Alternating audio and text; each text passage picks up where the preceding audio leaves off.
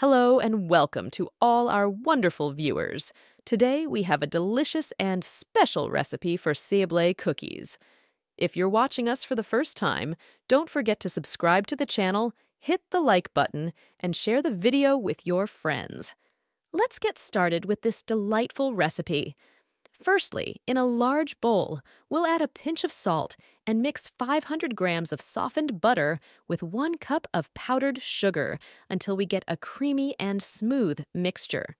Then, we'll add two eggs, one at a time, continuing to mix until the eggs are fully incorporated into the mixture. We'll add a teaspoon of vanilla extract and grated lemon zest, mixing again until all the ingredients are well combined, giving us a fragrant and delicious mixture. Now, we'll gradually add 6 cups of flour along with 3 teaspoons of baking powder. We'll add the flour gradually until we achieve a smooth and cohesive dough. It's important to knead until all the ingredients are well combined. Once we have a cohesive dough, we'll cover it with plastic wrap and let it rest in the refrigerator for half an hour to make it easier to shape.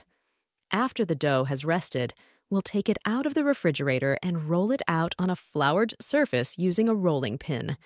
We'll try to roll it evenly to about half a centimeter thick so that all the pieces bake evenly.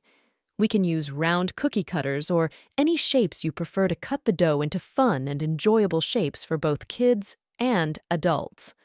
We'll arrange the shapes on a baking sheet lined with parchment paper making sure to leave some space between each piece so they don't stick together during baking.